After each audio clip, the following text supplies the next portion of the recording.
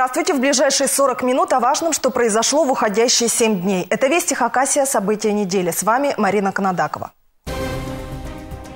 Нелегкий год, надо работать еще лучше. О том, куда движется республика, какие еще интересы, кроме алюминия, есть у русалов Хакасии, в эксклюзивном интервью Виктора Зимина нашей гостелерадиокомпании.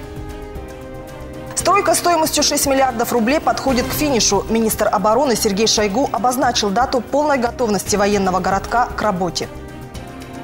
Бесплатной земли в Хакасии еще много. Выделено 6 тысяч участков. На очереди еще 4,5 тысячи. Под освоение попадает пригород Абакана. Чтение по следам. В республиканских заказниках и других охраняемых территориях проходит зимний учет животных. Власти Хакасии нацелены на развитие производств по переработке угля. Это одна из перспектив, которая открывается в связи с освоением Бейского каменноугольного месторождения. Об этом в эксклюзивном интервью нашей гостелерадиокомпании рассказал глава республики Виктор Зимин. И сегодня мы представляем его продолжение. Помимо темы экономики, директор ГТРК Хакасия Лариса Ефименко-Михайлова спросила руководителя региона о будущем сельского хозяйства и о том, почему он решил отметить труд матерей.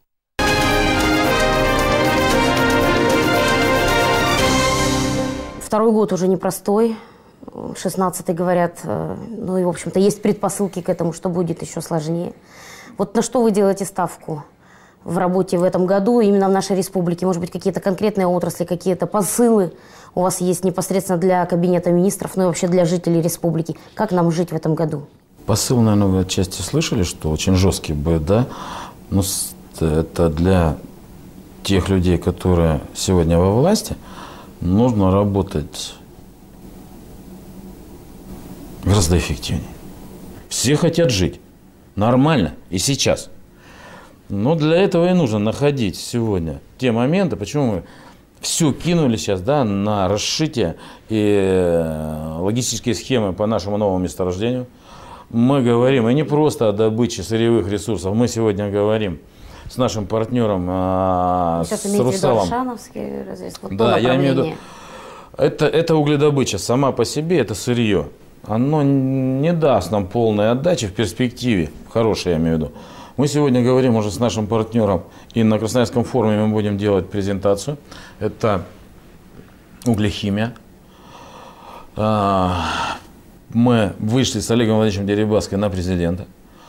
Я письмом, Олег Владимирович, встречи. Сегодня у нас есть резолюция президента, я уже получил официальный ответ. На расписана, это, наша инициатива расписана на уровень вице-премьера Дворковича. В Красноярске мы будем обсуждать уже за круглым столом с наукой и с правительством второй этап развития нашей угольной отрасли по переработке угля. Для нас важно. Ну, вроде, знаете, сегодня рубль не придет. Наоборот, надо думать об инвестициях еще, да? Но и завтра надо жить будет. Я трезво понимаю, через 3-4 года мы получим новое производство. И уже и говорить можно об другой экологии и о многих других вещах. В то же время этими шагами сегодня хлеба не поешь. А чем же сегодня поешь? Вот именно в этом году хотелось Прежде понять. всего, мы должны привлечь несколько миллиардов инвестиций. Что такое инвестиции? Это деньги. Те, которые, возле которых все встанут. Строители, а возле строителей сфера услуг, а возле сферы услуг все, и тоже сельское хозяйство, это население кормить надо. Надо получить несколько миллиардов инвестиций дополнительно под транспортную инфраструктуру. Для нас расшить ситуацию по логистике. Второй выход через реку Абакан, получить в рамках и безопасности наших стратегических предприятий Саяно-Шушинской ГЭС, Майнской ГЭС, алюминиевого завода, потому что мы, как хромоножка, на одной ноге стоим через тот мост железнодорожный. Конечно, он не очень-то у нас, да, благонадежен такой. Плюс мы не можем через эту инфраструктуру вывести дополнительно 20 миллионов тонн угля. Мы не вывезем. Мы сейчас там развиваемся, мы очень интенсивно идем, но мы через 2-3 года встанем. Это будет коллапс. Нужны инвестиции инвестиции любого плана в нашу экономику, независимо. Вот все думают, что обязательно нужно развивать индивидуально, тут, где-то только, если упадет жилье, от только жилье появится. Неправда.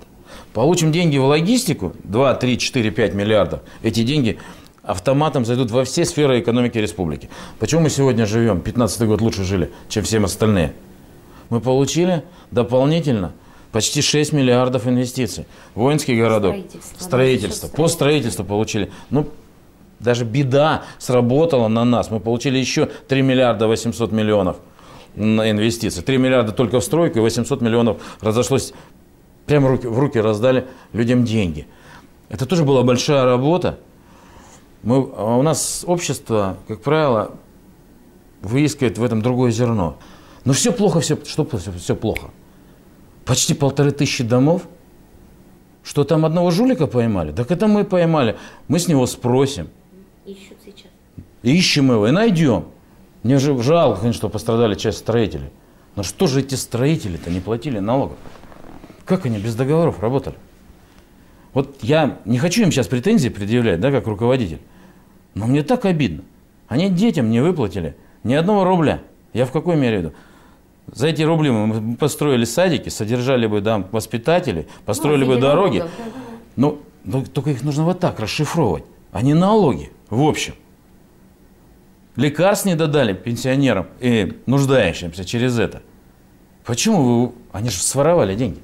Прям воровали их. Когда беда случилась, приходят опять во власть, у которой украли деньги. Помогите. И еще виновными выставить кого-то. Да я терпения набрался. Дал команду опять правительству. Помогайте. Даже этим жуликам помогайте. Они у них семьи есть, еще что-то. Потому что им часть денег не доплатили. Но когда они получали сверхприбыли, говорит, мы руки пожали. Что же это понимание такое в жизни-то, а? Руки пожать. С государством так никто не говорит. Требует прямо, да, по закону. Руки-то жмем через закон. И почему у вас договорных отношений нет? Если договор, то нужно налоги платить. Плохо договорились. Ну, можно возвращаться от одной проблемы к другой.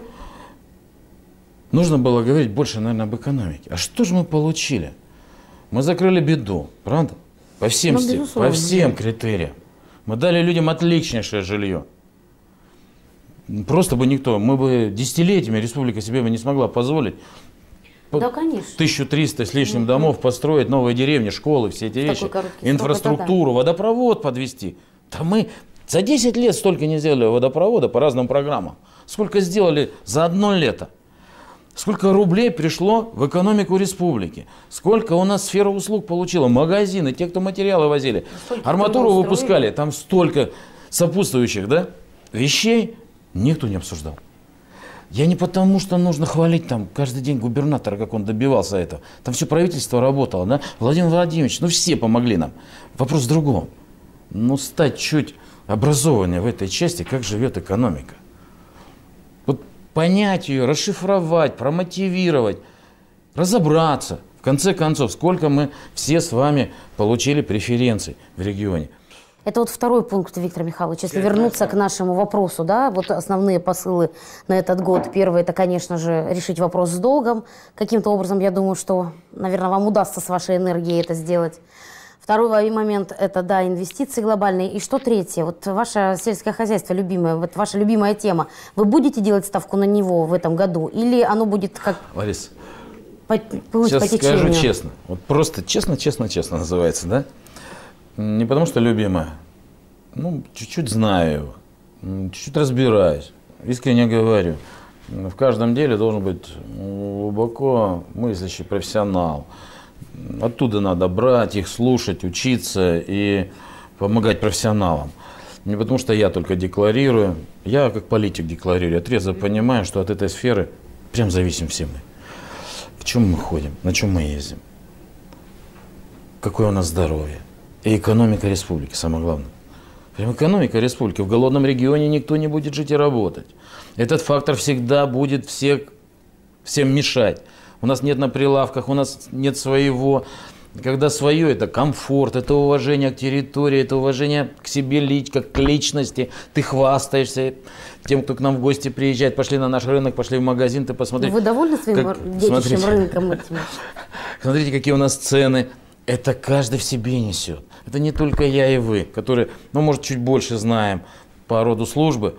Любой человек на своем уровне где-то чувствует. В то же время мы знаем минусы, что есть, и с ними надо бороться. Это влияет на жизнь, это влияет на инвестиции.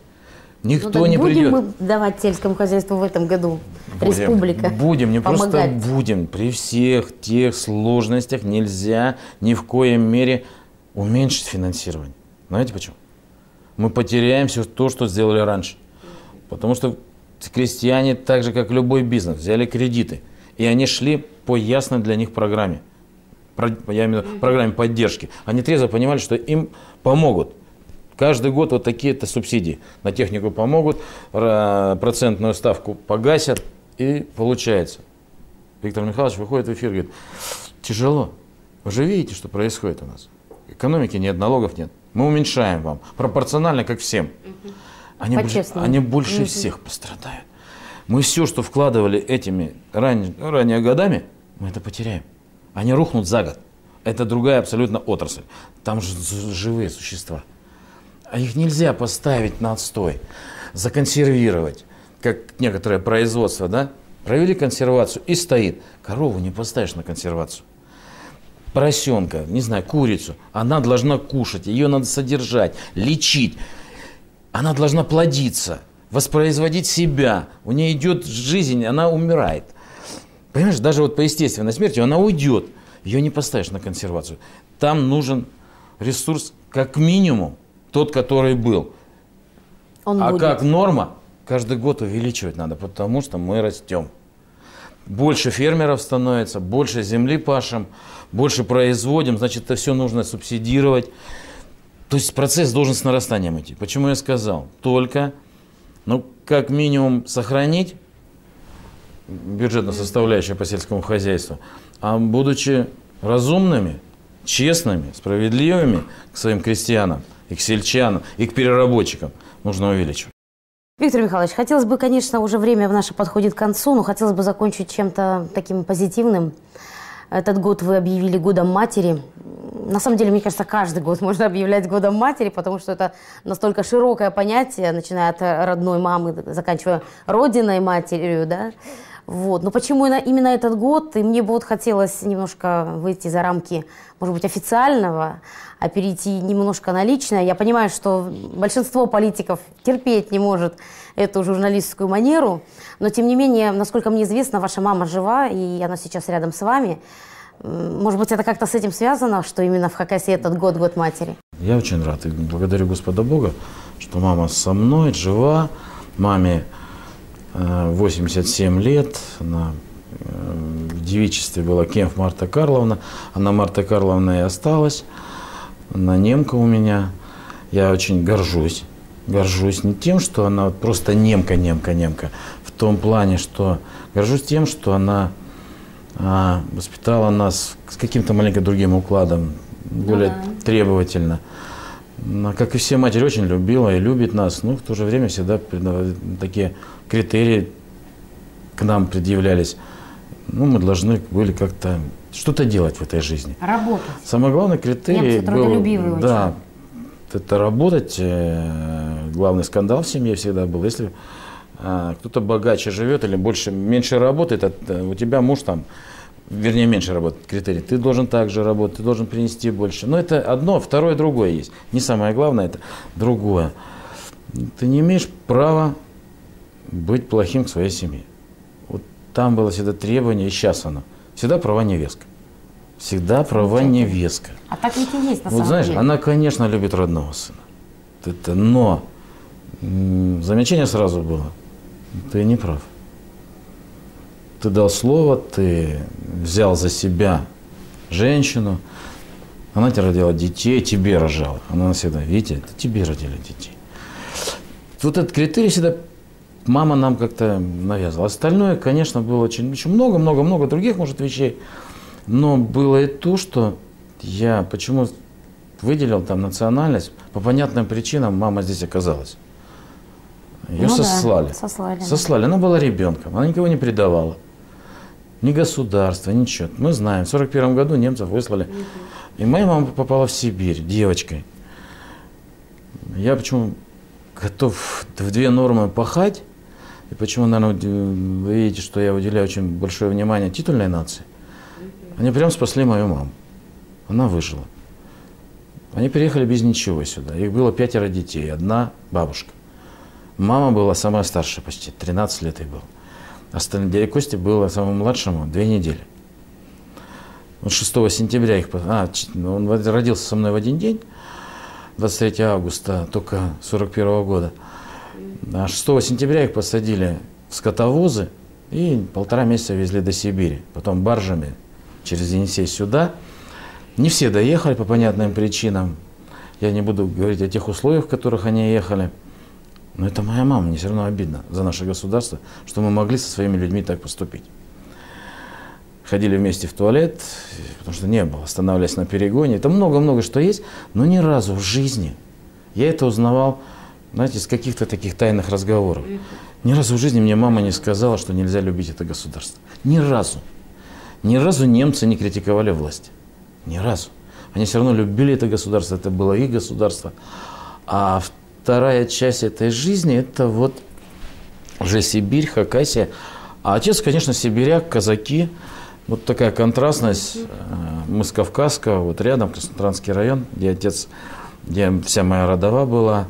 Второй дед, невеликий тут секрет, был секретарем горкома Черногорска. Дорос там до начальника шахты. Ну, все отсюда, все здесь. А вот эта часть, контрастная семья такая, Прям разные были. Папа и мама. Большой контраст. Папа прямо русский, все отдаст. Да, всех любил. Мама немка педантичная. Мама нет э, в части того, что семья, защита, забор, дети, мое. Ну, вот такая маленькая разница. Но Хакасы спасли мне мать. Вот прям Хакасы. Вот не, в та, не то государство в то время, которое было, отношение, вернее, власти к ней, да, их отсылали сюда не для того, чтобы они выжили. Я ну, это да. трезво понимал. Но они ни разу Сама не пожаловались. отсылали. Да. И высылали. Без отца. Отца в труд армию забрали. Он пришел в 55 лет, умер. И вот можно много накладывать. Я сейчас не только, не то, что только про свою маму. Я думаю, у каждого есть своя история, как нужно любить маму, как через эту призму, наверное, прежде всего, правильно ты сказала, что а вот уже и государство тоже мама да, родина мать. Ну, как без мамы, я не знаю. Ну, консолидация возле мамы. Пока мама жива, я очень хочу долгих-долгих лет. И у нас такая сильная семья получается. Я знаю точно. И каждый меня со мной согласится. Пока живы родители, до мочи, да, есть семья. Конечно, нужно сделать все, ну, постараться. Не один год, а каждый год. Я просто предложил я этот думала, вариант. Этот год как-то особенно. Надо найти, этому, да. наоборот, он сложный отчасти, да, и вот нужно как формулу консолидации всему обществу сплотиться, найти в себе силы, уделить внимание именно, это не проблема. Наоборот, было, да. найти другие моменты, как еще всем быть добрее, сильнее, э, найти форму финансирования даже этих программ, именно материнство. Именно материнство. Мы, очень надеюсь, верю, мы должны ввести перинатальный центр, правда? Это, конечно, прежде всего для девочек, для мам. Конечно. Только для мам. Ну, папы радуются возле этого дела, да? Всегда, когда эти появляются такие. У нас еще есть очень много денег будем вливать в медицину. Я думаю, что в конце года мы действительно поймем, что вы вкладывали, какой смысл вы вкладывали в этот год. Я думаю, что это публично станет ясно для всех. Спасибо вам огромное, Виктор Михайлович, за это интервью. Я очень рада была с вами очередной раз пообщаться. Всего доброго.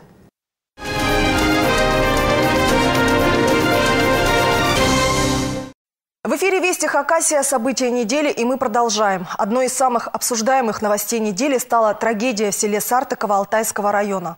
Молодая мать задержана по подозрению в убийстве собственного ребенка. Дело находится под контролем прокуратуры. Подробности у Виктора Бурова. Жуткая трагедия разыгралась в доме по улице Мира в ночь субботы на воскресенье. Молодая мама собрала у себя целую компанию собутыльников, 9 человек. На глазах у троих малолетних детей, двух месяцев, трех и четырех лет, они устроили гулянку. Вот именно, что они там хорошо, наверное, бухнули. Мой сын пришел, оттуда же, тоже, в час ночи пьяный, средний. А, ну, там где продолжали пить вовсю, наверное. Наверное, всю ночь пили. Если в час пришел сын. Под утро грудной малыш заплакал. По версии следствия, 25-летняя Анастасия взяла его на руки, чтобы успокоить, а после запихнула в печь, где еще горели угли. От полученных ожогов ребенок скончался. Друзья по бутылке и дети в это время спали. Когда молодая мама поняла, что ребенок умер, она сообщила соседям. Конечно, передернула всего. Зашел к нему, она его на руках уже держала, там, в одеяле укутана. Ничего не могла рассказать, она ревела, плакала, его качала. Односельчане обсуждать с посторонними людьми дикую историю отказываются, ведь некоторые из них могли находиться на месте преступления, гуляли большой компанией. От причастности к убийству молодая мама отказывается, хотя изначально дала признательные показания. Женщина задержана, ей предъявлено обвинение. Следователь намерен обратиться в суд с ходатайством об избрании в отношении нее меры пресечения в виде заключения под стражу. А в настоящее время выполняются следственные действия, направленные на установление всех обстоятельств произошедшего, а расследование уголовного дела продолжается. Как рассказывает дядя, подозреваемый в убийстве собственного сына девушки, который, кстати, тоже отсидел за убийство, племянница росла без родителей. Из-за пьянки их лишили родительских прав, а когда девочке было 12 лет, отец и мама умерли. Опеку над сиротой взяли чужие люди, но после отказались. Когда девушке исполнилось 18 лет, ей как сироте выделили дом. Одного за другим Анастасия родила троих детей, воспитывала их одна без мужа, жили на детские пособия. Сейчас обвиняемая задержана, маме деда-убийцы грозит срок от 8 лет до пожизненного заключения. Виктор Буров, Дмитрий Кузнецов, Вести Хакасия, события недели. Министр обороны России Сергей Шойгу на этой неделе побывал в Абакане, чтобы проверить ход строительства военного городка в МПСе. Именно по его инициативе три года назад начались масштабные работы, призванные улучшить условия для железнодорожной бригады. И вот сегодня у военной части новые казарма и столовая, а также тентомобильное укрытие для техники. Но для простых горожан важнее то, что помимо военных объектов построены культурно-досуговый центр, спорткомплекс с бассейном и первый в Хакасии крытой ледовой площадкой. Планируется, что посещать их смогут не только военные, но и жители и гости столицы. Прошлогодняя стройка для погорельцев несколько под подкорректировала сроки сдачи военного городка. И, как поручил Сергей Шойгу, все работы должны быть завершены в мае. Льготникам, желающим получить бесплатную землю, не придется долго ждать. На сегодня власти уже раздали 6 тысяч участков, на очереди еще 4,5 тысячи. Где они находятся и будут ли власти выполнять свои обещания по развитию будущих новостроек, смотрите в следующем материале. Новый дом еще не до конца обустроен, но лучшего места для своей семьи Наталья Медведева не представляет. В Абакане она с четырьмя детьми ютилась в маленькой квартире, а здесь целых 140 квадратных метров по собственному проекту. Бесплатный участок рядом с селом Зеленое предоставили в прошлом году, и Медведевы, не раздумывая, решили переехать. Было бы где строиться, да еще свет, и больше ничего не надо для исполнения мечты. В городе мы не смогли приобрести жилье в связи с тем, что участки неподъемные, квартиры очень дорогие. А здесь на эту сумму, которая у нас располагалась, мы смогли построить дом, где у каждого ребенка есть свой угол, своя комната. Ну, есть, конечно, небольшие проблемы с участками, но это не страшно. Надеемся, что нам государство поможет и в этом.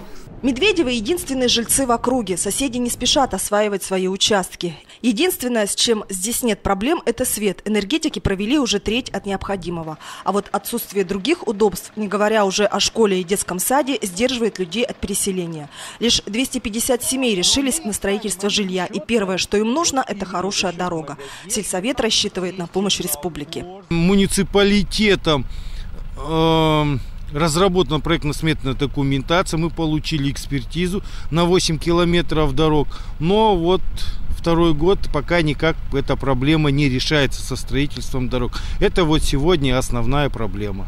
В районе села Зеленое для многодетных семей определено 3000 участков. Еще 3000 выделено в районах. И это не единственный массив, который в будущем появится на карте республики. Бесплатная земля также полагается молодежи и молодым специалистам. Для них нарезано 4,5 тысячи участков недалеко от Абакана.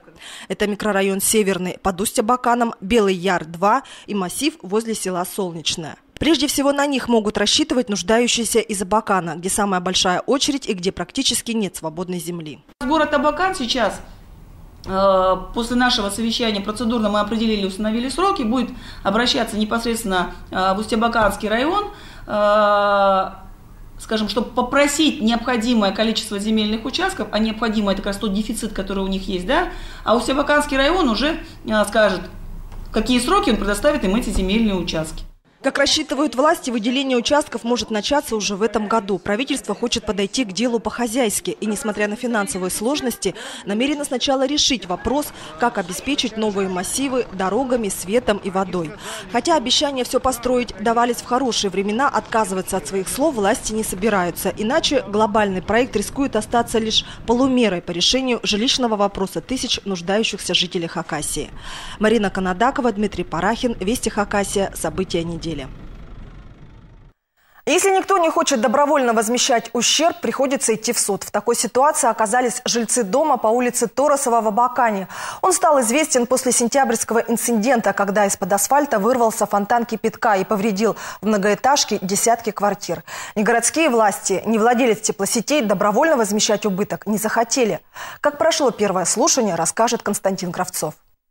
Порыв трубы на Торосова-21 переполошил весь город. Коварная смесь из гравия, асфальта и кипятка беспощадно разбомбила 9 квартир.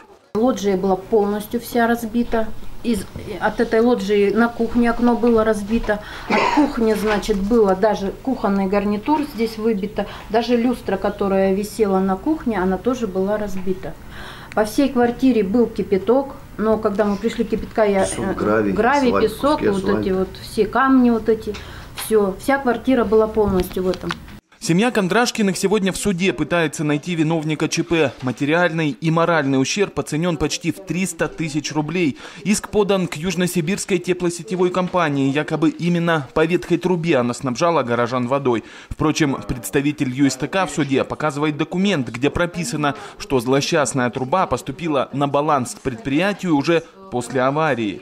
Данный участок тепловой сети значит, э, имеет статус бесхозяйного участка сети и впоследствии данным, то есть данным распоряжением он передается на обслуживание ЮСТК на дальнейшее. То есть из данных э, документов видно, что на момент аварии, то есть 21 сентября, когда у нас произошла авария, данный участок тепловой сети, он э, на обслуживание в ЮСТК отсутствовал. По мнению Николая Беляева, ответ искать нужно в городской администрации. В защиту мэрии выступает другой юрист. Дело в том, что у энергетиков на балансе действительно нет аварийной трубы. Однако примыкающая с обеих сторон к ней числится. Получается, что по закону предприятие обязано следить за состоянием всего участка. Оно использовало данный участок сети в своей коммерческой деятельности, то есть, да, и, соответственно, несет ответственность за Э, использования ее. В ходе слушания пострадавшая сторона все же ходатайствовала, чтобы в качестве ответчика выступала и администрация. Следующее заседание суд назначил на конец февраля. Когда это все произошло, мы ходили в мэрию города, у нас было совещание, нам сказали, что это в течение месяца, как бы, ну, ну максимум двух все это будет. Но, как видите, еще даже ответчиков мы не можем найти. Что можно сказать? Полгода уже проходит. Да. Остается добавить, что подобных дел в практике городского суда прежде не было. На сегодня сюда подано от жителей пострадавшего дома лишь три заявления, остальные, скорее всего, ждут результатов. И когда виновник будет определен уже однозначно, скорее всего, требований взыскать с него материальный ущерб будет в разы больше. Константин Кравцов, Дмитрий Парахин, Вести, Хакасия. Как посчитать диких животных? Это знают специалисты дирекции по особо охраняемым природным территориям. Сейчас у них напряженная пора. Необходимо провести зимний учет обитателей лесов и тайги, чтобы понимать, как они мигрируют в пределах Хакасии и соседних территорий. Работа эта проводится каждую зиму, но на этот раз в ней есть свои особенности. Без лыж в такой снег никуда. Для проведения зимнего учета в июском заказнике инспектору предстоит пройти десятки километров по труднопроходимым местам Ширинского и Орджоникидзевского районов. Это раньше можно было проезжать по маршрутам на машине или снегоходе. Новый же метод требует пеших переходов и наличия вот такого веничка первый день он необходимо ему замести эти следы, он ведет с веничком, затирает следы, чтобы на следующий день не спутать старые и новые следы.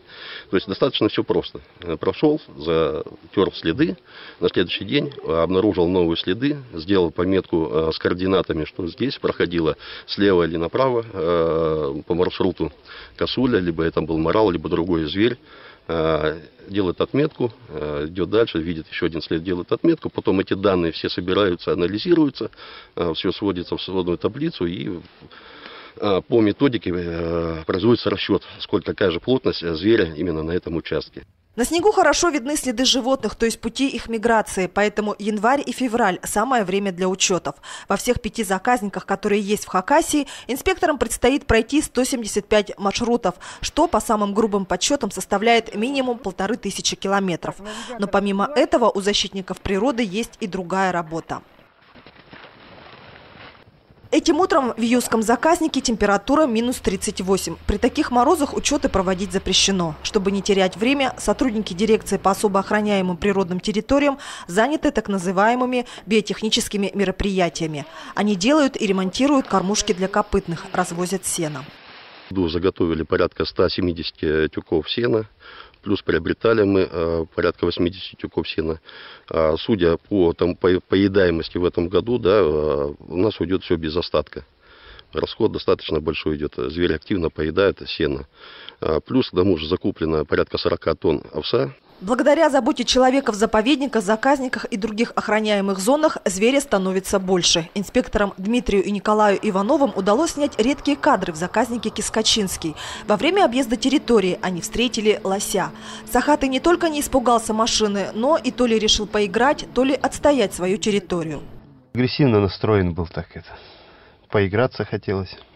С УАЗиком. Не боится ничего. Не пуганный зверь. Под защиту попадают не только животный мир, но и памятники природы. Так что в планах дирекции создание в Хакасии новых особо охраняемых территорий, где вмешательство человека будет минимальным. На этом наш выпуск завершен. И желаю вам всего самого доброго и до новых встреч.